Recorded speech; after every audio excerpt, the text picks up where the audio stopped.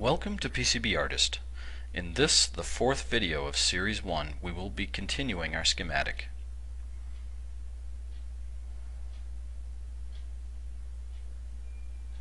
At this point, we need to add a connector. We will use the Add Component tab of the interaction bar to add it.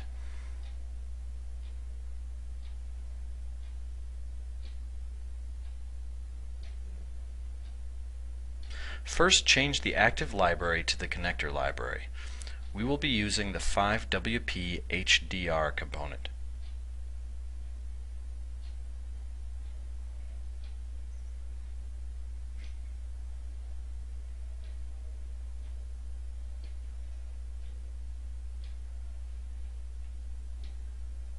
Place the component in the schematic.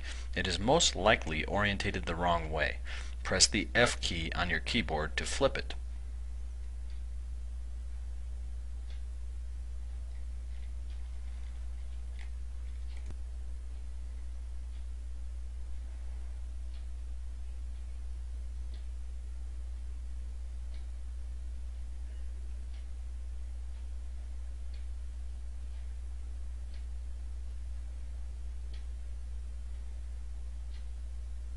Now we will add the connections.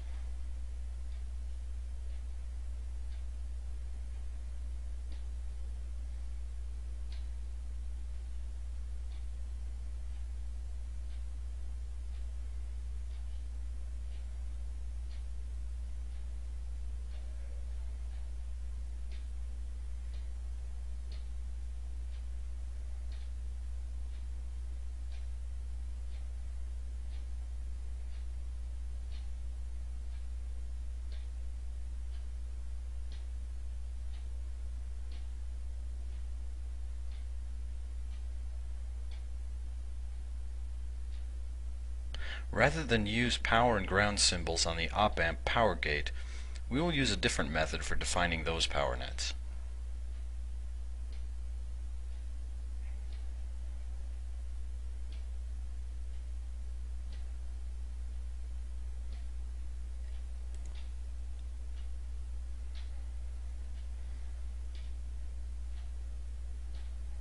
Now let's delete the two excess power and ground symbols. Push the delete key on your keyboard to delete them.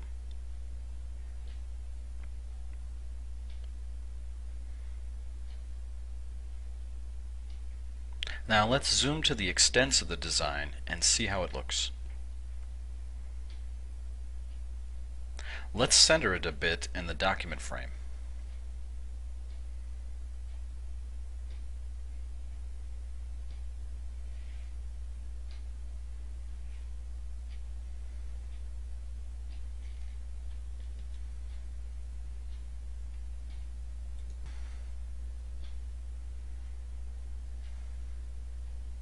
Now the power gate connections of the op-amp need to be put on the proper power and ground nets.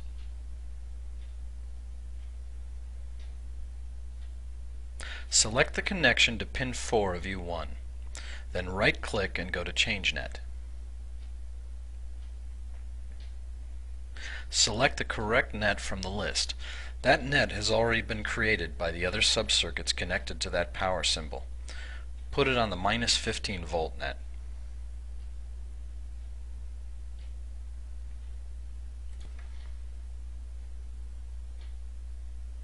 Perform the same edit to the connection to pin 7 of U1. This should be on the plus 15 volt net.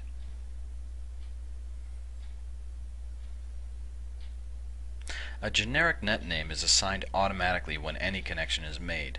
These are the N00 net names. Connection is determined by the net name only. Anything with the same net name will be connected whether there's a connection line or not. Now is a good time to review the list of nets and make any needed edits. This is done from Settings Nets in the main menu.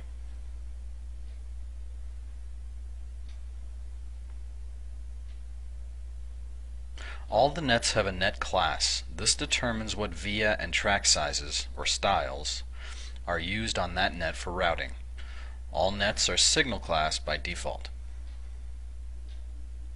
All power and ground nets must be changed to power or ground net class to ensure they automatically use the thicker track width.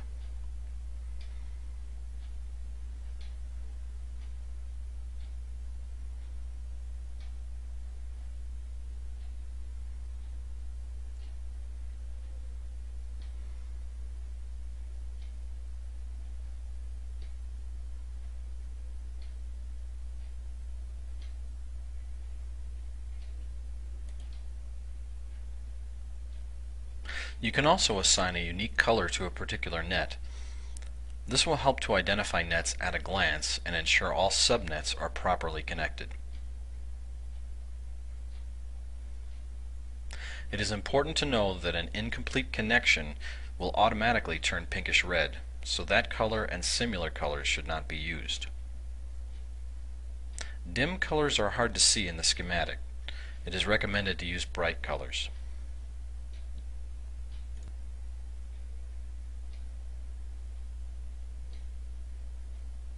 We can now easily identify any zero-V nets that have not been properly connected. Another way to highlight nets is to use View Highlight Net. This will keep the net highlighted for long periods of time.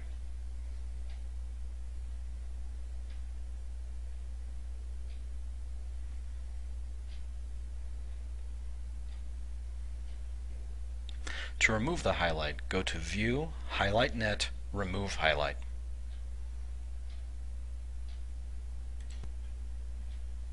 Another way to highlight nets is to use the Interaction Bar's Go To tab.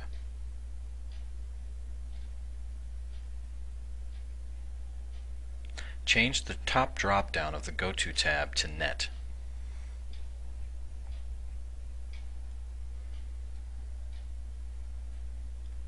This allows the designer to quickly highlight each net to visually confirm the nets.